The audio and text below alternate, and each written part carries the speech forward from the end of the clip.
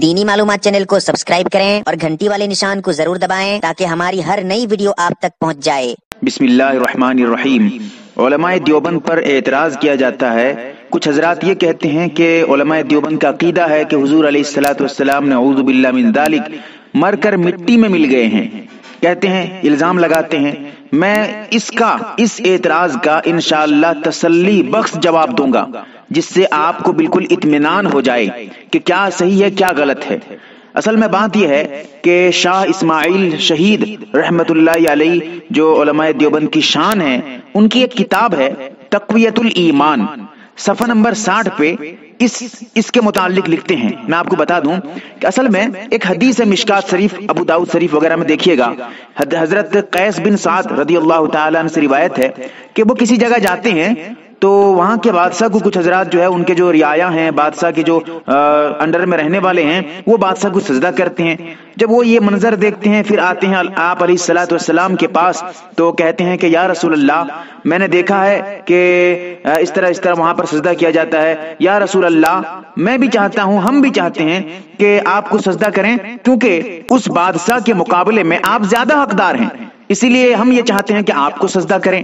تو آپ علیہ السلاۃ والسلام نے فرمایا تو جب میرے قبر کے پاس سے گزرو گے تو کیا سجدہ کرو گے حضرت قیس نے کہا کہ نہیں۔ حضرت قیس, قیس بن سعد رضی اللہ تعالیٰ عنہ نے کہا کہ نہیں۔ تو آپ علیہ السلاۃ والسلام نے فرمایا تو دیکھیے یہاں پر کہ آپ کیا فرماتے ہیں؟ کہتے ہیں کہ نہیں سجدہ مت کرنا۔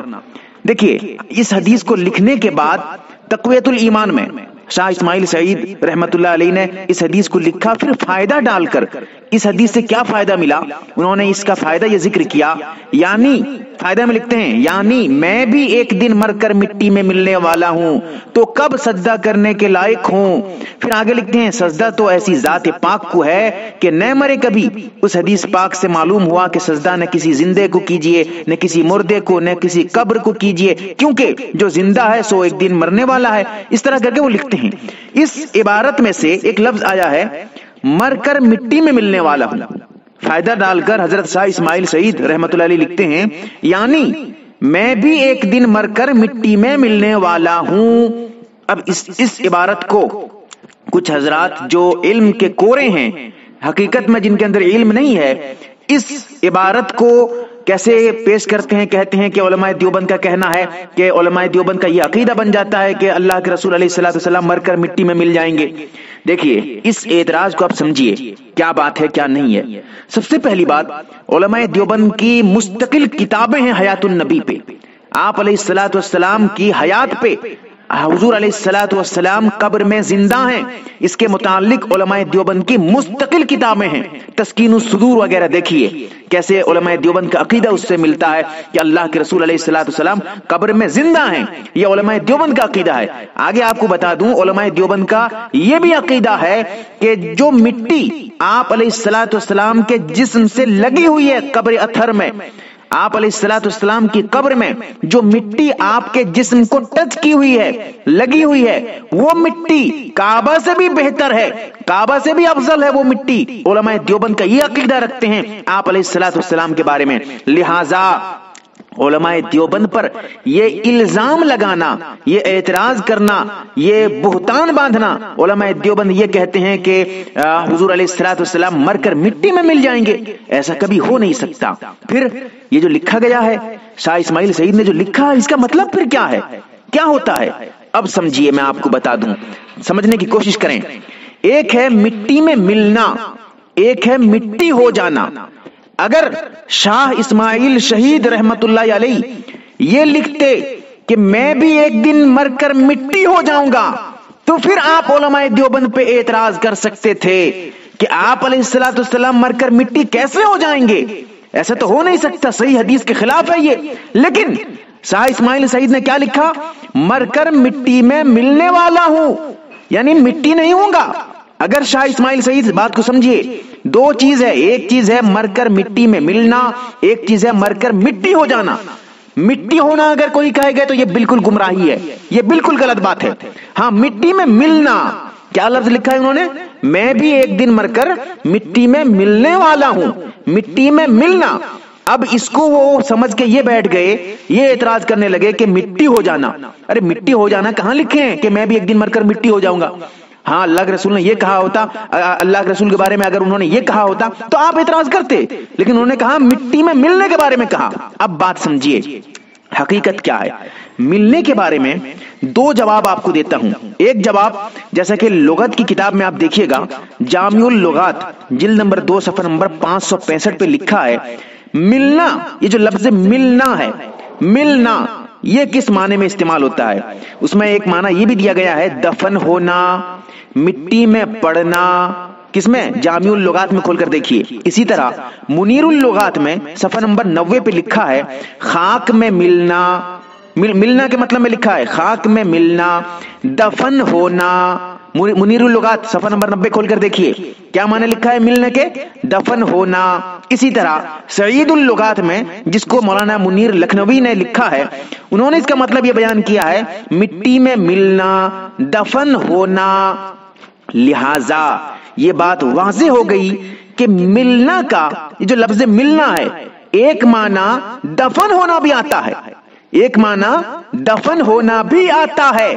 لہذا یہاں پر جو شاہ اسماعیل سعید نے لکھا ہے کہ یعنی میں بھی ایک دن مر کر مٹی میں ملنے والا ہوں یعنی ایک دن میں بھی مر کر مٹی میں ملنے سے کیا مراد؟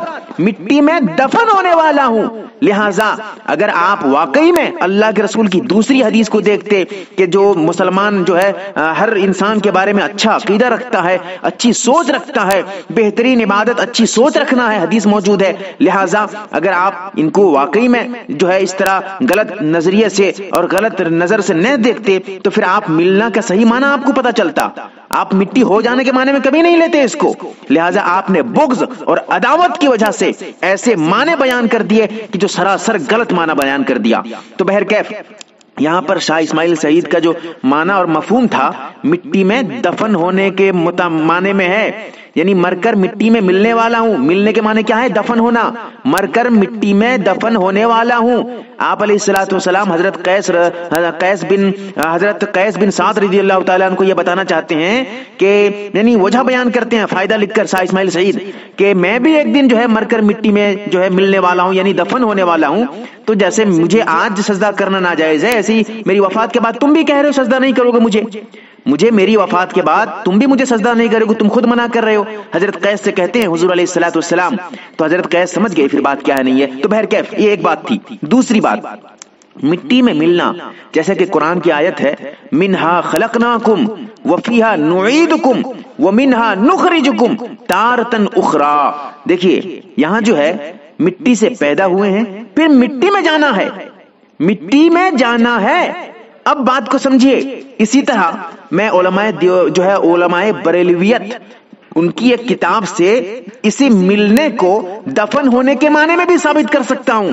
اگر اس کی ضرورت ہو مجھ سے رابطہ کریں۔ لیکن یہاں پر میں مختصر الفاظ میں بتانا چاہتا ہوں کہ ملنا جو ہے دیکھیے ایک تو تھا ملنے کے معنی دفن ہونا۔ دوسرا معنی ہے ملحق ہونا، متصل ہونا، مٹی سے لگ جانا۔ اس بات کو علماء دیوبند نے خود لکھا ہے۔ فتح رشیدیہ میں کھول کر دیکھیے۔ فتح رشیدیہ میں مولانا رشید احمد گنگوئی نے لکھا ہے یعنی مٹی سے ملنا یعنی کفن اور جسم کا مٹی سے لگ جانا ہے۔ یہ بھی ایک طرح کا ملنا ہو جاتا ہے۔ مٹی ہو جانا نہیں۔ بلکہ مٹی سے متصل ہو جانا، مٹی سے لگ جانا، یہ بھی ایک معنی میں لیا جا سکتا ہے۔ لیکن علماء دیوبند سے بغض اور عداوت کی وجہ سے ایسے معنی بیان کر دیے گئے جو سراسر علماء دیوبندی اس کے خلاف بولنے لگے۔ علماء دیوبندی کہتے ہیں کہ یہ غلط بات ہے۔ مٹی ہو جانا اگر کوئی کہتا ہے ہاں مٹی میں ملنا ایک الگ بات ہے، مٹی ہو جانا ایک الگ بات ہے۔ غور و فکر کریں گے تو انشاءاللہ بات سمجھ میں آئے گی۔ بغض اور عداوت کی چشمے کو اتار کر اور بالکل اصلاح کی نیت سے سنیں گے، انشاءاللہ بات سمجھ میں آئے گی۔ اللہ تعالی ہم تمام کو صحیح بات سمجھنے کی توفیق عطا فرمائے۔ آمین یا رب العالمین۔ اصلاح امت کے لیے یوٹیوب پر چلایا جانے والا انوکھا اور لاجواب چینل جس کا نام دینی معلومات ہے۔ آپ اس دینی معلومات چینل کو سبسکرائب کریں۔ گھنٹی والے نشان کو ضرور دبائیں۔ سے فائدہ یہ ہوگا کہ ہم جب بھی نئی ویڈیو ڈالیں گے، وہ آپ تک پہنچ جائے گی۔ چینل کی ہر ویڈیو آپ اپنے چینل پہ ڈال سکتے ہیں یعنی کاپی رائٹ نہیں آئے گی۔ اور اگر واٹس ایپ گروپ میں شامل ہونا چاہیں، تو ایڈ لکھ کر آپ اپنے واٹس ایپ نمبر سے دیے گئے نمبر پہ میسج کریں۔ نیز اس دینی معلومات چینل میں آپ کو اسلام سے متعلق ہر طرح کی ویڈیوز ملیں گی۔